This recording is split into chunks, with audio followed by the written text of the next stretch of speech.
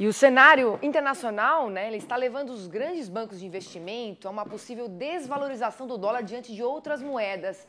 Isso, sem dúvida, pode tornar o Brasil mais caro e facilitar as importações no momento em que estamos tentando um ajuste nas nossas contas públicas. Vamos chamar então Miguel Daúde, porque a possibilidade de ter uma valorização mais forte do real frente ao dólar pode complicar ainda mais a situação do produtor rural, Daúde. Uma boa tarde para você e seja bem-vindo. Obrigado, Priscila. Mais uma vez, boa tarde a você, boa tarde a todos. Priscila, é, essa análise que nós vamos fazer agora não é uma análise é, fotográfica do momento em que a gente vive. É uma análise é, prospectiva, ou seja, o que, que pode acontecer ali na frente. Vai acontecer, vai depender muito da probabilidade de alguns fatores. Então vamos lá.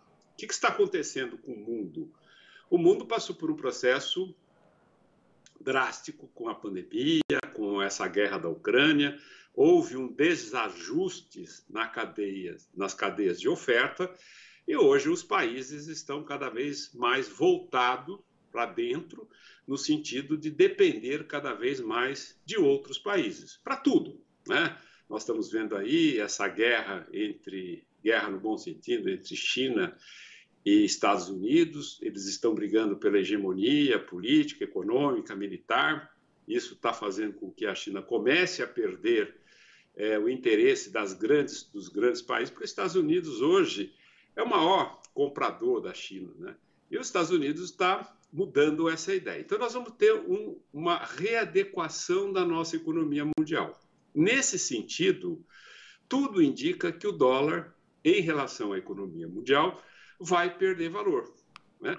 Quando você analisa este cenário e olha para o Brasil, você vê que o Brasil ele está se reestruturando, fazendo um ajuste fiscal, vai fazer uma reforma tributária, está revendo né, alguns interesses e o Brasil se torna, né, nos olhos do, do, dos olhos dos grandes investidores, uma possibilidade porque aqui tem tudo por acontecer. Nós temos investimento em infraestrutura, o agronegócio brasileiro vai continuar fornecendo comida para o mundo, isso você não tem a dúvida, mas só que alguns parâmetros que hoje nos ajudaram, como é o caso da demanda chinesa, que ela pode é, não ter o ímpeto que tinha, a questão do câmbio, que nos ajudou muito. Então, essa, esses fatores começam a sair de cena e vai jogar mais luz sobre a necessidade do produtor rural hoje ter que se adequar a esse cenário. Nós estamos prontos para isso? Não, Priscila, não.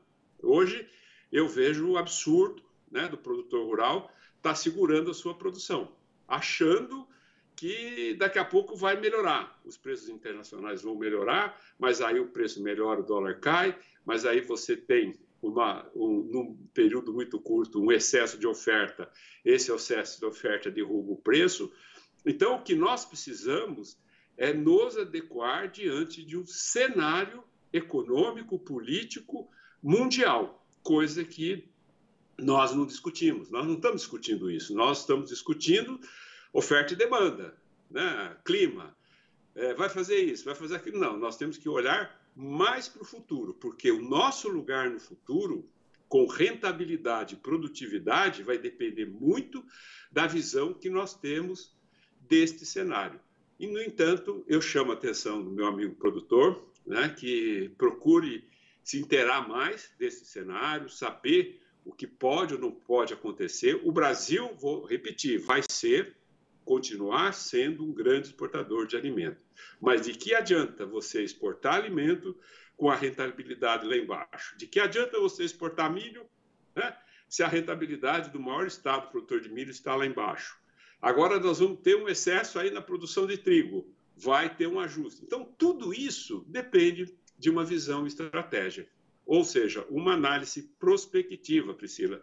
É aí que eu chamo a atenção dos produtores para investirem mais no entendimento de um cenário que nós temos pela frente.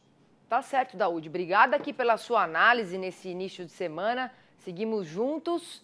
Até amanhã e boa tarde. Até amanhã, Priscila, não esmoreça.